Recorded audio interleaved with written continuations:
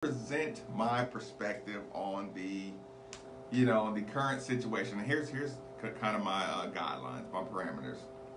I'm going to talk about city, my city, and my state. And if we can squeeze this con, you know, this conversation uh, in in between the way I see, the way I view the city and the state, it'll it'll avoid us from getting into geopolitical conversation, which I don't want to do.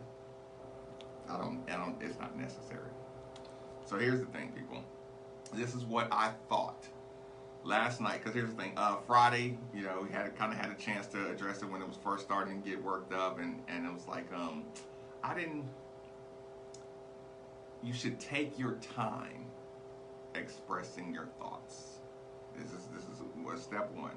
I think to everybody, you should take your time expressing your thoughts this is why I'm always talking about context. This is why I always give you know other shows a hard time who take who take quick clips and then change narratives. I, I've never been a fan of that. You can check my background.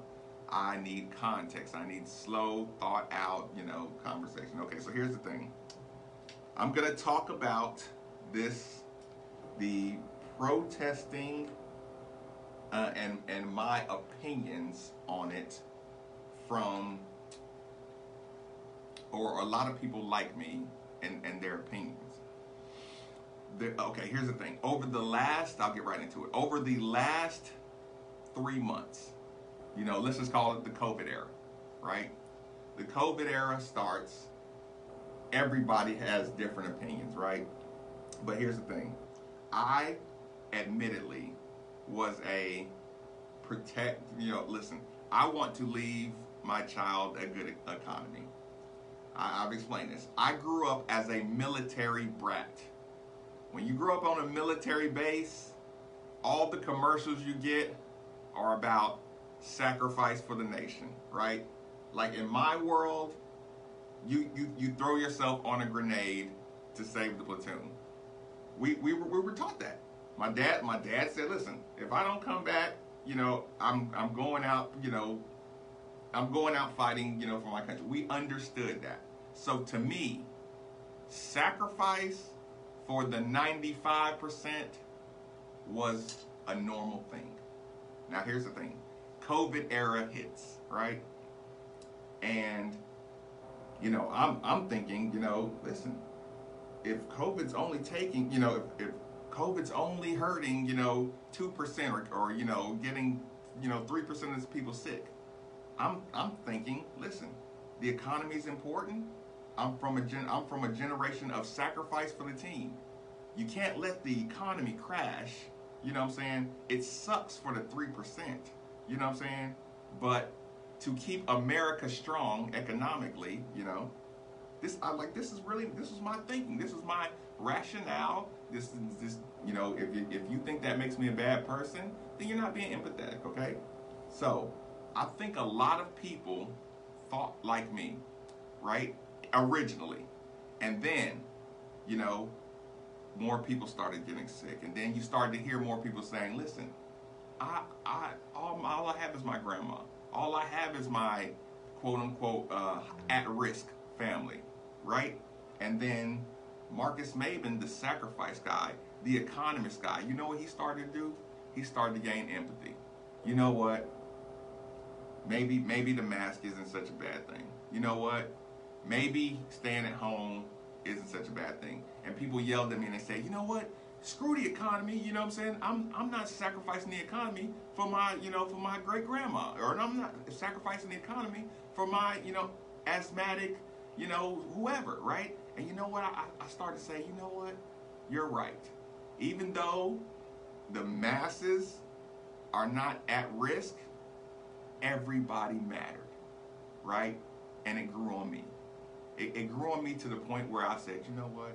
I've, I've just been taking my my um my experiences, my personalities, and I've been putting it on everybody else.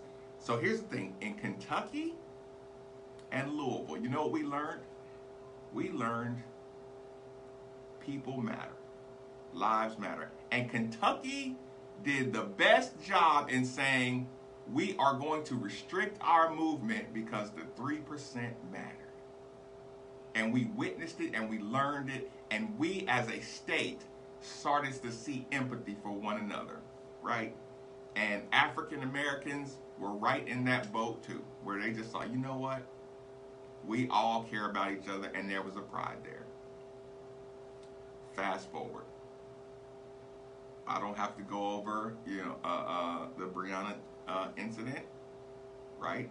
I don't have to go over the George Floyd incident. You saw what we saw, right? And in this community, I saw African Americans say, what happened to that empathy that everybody matters? I just went through two, through two or three months of, of watching with my own two eyes across the city and across the state, everybody saying everybody matters. And we're willing to shut down the economy because everybody matters. We're willing to deal with closing jobs. People are losing their, their lifelong investments in businesses. They're losing it all. And we saw people stick together and say, you know what? We can rebuild, but I can't get my grandma back. I can't get my family member back. And you know what we all said? We all agreed. That's what's going on right now. That's the frustration right now.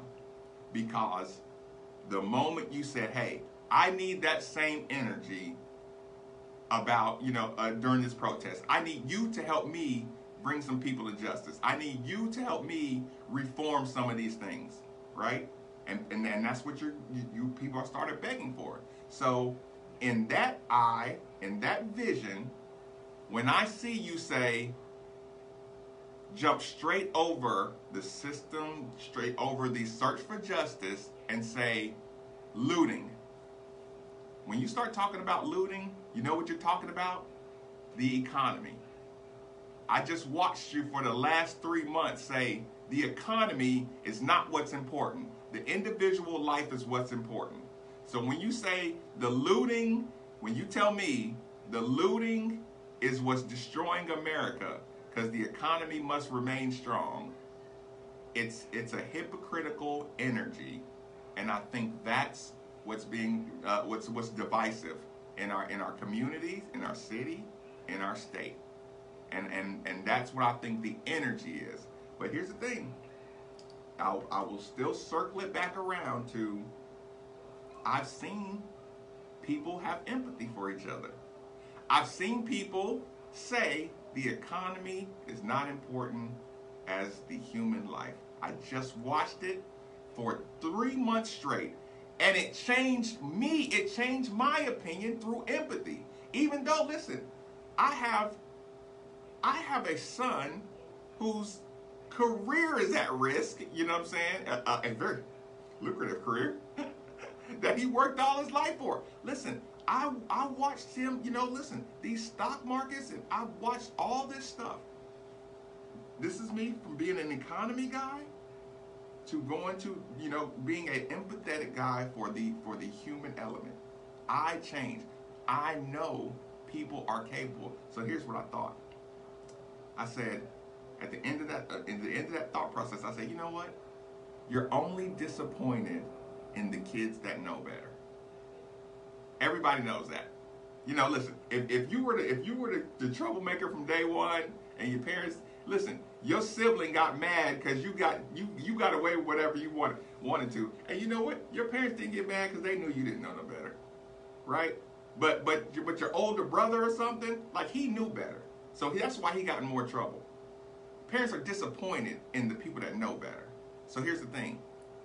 My disappointment is in the people that I know know better. All the all the friends I have, all the um, all the friends, all the associates, all the interaction, the social media, I, I saw it with my own two eyes. You cared about the individual. So when you stop caring about the individual and you go to, to commerce now, when you go to economy now, then I know you know better and you chose to do wrong.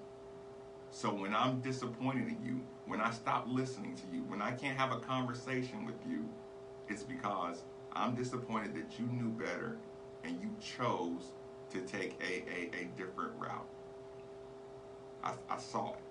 I saw it. And, and again, that's how I generally felt and feel now. And I think a lot of people feel that way. But again, again, again, again, you circle it back around. I've seen the compassion and I know it's possible. So I don't have to be, you know, I don't kick, you know, kick kick my kid out. I don't I don't say this kid can't change. I don't I don't say anything's permanent. I just say I've, I've, I've witnessed I've witnessed it. I know you're capable of it, and um, I know you're capable of doing right. And I just I, I hope that doing right wins over. That's all I'm gonna say about it. We're gonna move forward. Well, and, and listen, the phone lines are open, so you know, like I said, I, I, I will listen. You know, I, I will keep it from getting confrontational, but I will listen. But we're still gonna talk about a lot of good things going on in the city of Louisville.